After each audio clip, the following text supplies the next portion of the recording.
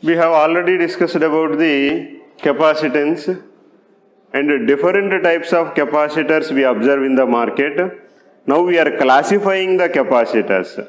First we are classifying the capacitors according to the dielectric material we use. We already mentioned in the capacitor we are using a dielectric material. This dielectric material is an insulator. But we have different types of insulators. Plastic is an insulator, wood is an insulator, paper is an insulator, ceramic is an insulator, glass is an insulator. We are using different types of insulator materials. So based on what dielectric material you are choosing in the capacitor, the capacitance value will be changed. Because each dielectric material is having its own permittivity, epsilon. The ability to store the electric field lines is called the permittivity. So each material we are using here, the paper has different ability to store the electric field lines, air has different ability to store the electric field lines. Similarly, the each dielectric material we are using here has its own way to store the electric field lines. So based on the dielectric material we are using, we define the capacitors, a paper capacitor or air capacitor or plastic capacitor, ceramic capacitor, glass capacitor. And similarly, based on the operation, we are classifying the capacitors into two types. One is a fixed capacitor and second one is a variable capacitor. Fixed capacitor means that capacitance value cannot be changed. Variable capacitor means the capacitance value can be changed. Where we use this application, whenever we want to change some channel in the TV, you may think that I am changing one channel from one channel to another channel. Simply the remote, the button or the switch is changing the channel. It will not change the channel. You are actually in term changing the frequency. To change that frequency, you are changing the capacitance. There you definitely require changing of the capacitance. At that time you use the variable capacitor. And in the variable capacitors, we have different types of variable capacitors, uh, trimmer capacitors, uh, we will discuss in the later classes. Okay, according to the voltage rating, capacitors sometimes we use for low voltages. In the laboratories you observe, majority of our capacitors uh, we use for the 25 volts. They will give the voltage rating. What is this voltage rating? The maximum voltage a capacitor can withstand without destroying. So the voltage rating defines up to what voltage the capacitor can store, up to what voltage can the capacitor operate. So based on that, the, according to the voltage rating, capacitors are classified into two types.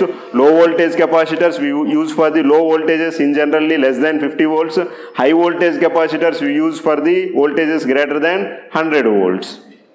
And according to the electrode structures, Capacitors actually we have two types of polar and non-polar capacitors. What is the difference between polar and non-polar capacitors?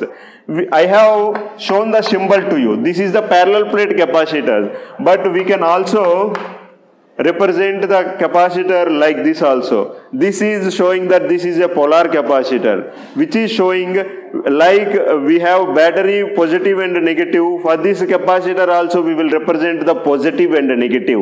If your capacitor is indicating positive and negative it is a polar capacitor. If there is no positive and negative for the capacitor you can connect in any way in the circuit then it is a non-polar capacitor. In the laboratory we have two capacitors so polar and non-polar uh, in, in generally the non-polar capacitors are ceramic capacitors. These ceramic capacitors comes in the form of a disc that you will observe and we have tubular capacitors. They are polar capacitors for that short lead and long lead to represent to represent the positive and negative we use the different two leads terminal. One lead is shorter and one lead is longer. In that way we differentiate the two terminals. And the next one is according to the shape. We have tubular capacitors and a disc capacitor. Like in the tube-like form, if there is a capacitor that is called as a tubular capacitor, if a capacitor is in the form of a circular form, then that capacitor is called as a disc capacitor. In generally, ceramic capacitors are available in the form of the disc capacitor. We use in the range of microfarads, whereas microfarads and nanofarads uh, nanofarads and picofarads. Majority of the ceramic capacitors we use in the nano and picofarads. For the microfarad range, uh, most probably we will use the tubular capacitors. Okay, according to the different dielectric material, we have classified the capacitors. paper, air, ceramic, glass, plastic. According to operation, they are classified into two types, fixed and variable. According to the voltage rating, low voltage capacitors and high voltage capacitors. We have also discussed where we use the variable capacitors whenever we want to change the TV channel. Then you can use the variable capacitor. And also, when you want to change your FM radio, if you are receiving a FM uh, in the cities, you can observe there are more FM stations are available. They will send different different frequencies, 98.3, some different different frequencies they will send. If you want to tune by using your mobile, if you want to, to tune to particular FM, there you are changing the frequency. To change the frequency again, we cannot use the resistor to change the frequency. Definitely we require either inductor or capacitor. Changing inductance is very difficult and incorporating inductor in the mobile itself makes your mobile is larger and giant. So we are changing the capacitance to receive a particular frequency of the FM station. There also we are using the variable capacitor. And similarly voltage rating we discussed. According to the voltage rating capacitors are classified into two types. Low voltage capacitor and high voltage capacitor. For lower voltages for our normal electronic projects we generally use the low voltage capacitor. And according to electrode structure, capacitors are classified into two types.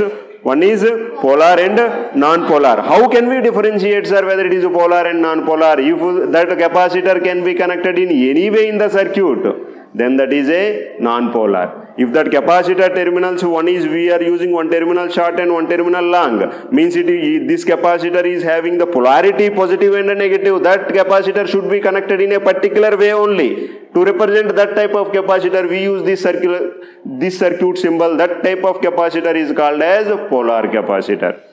And last we discussed the capacitors according to the shape.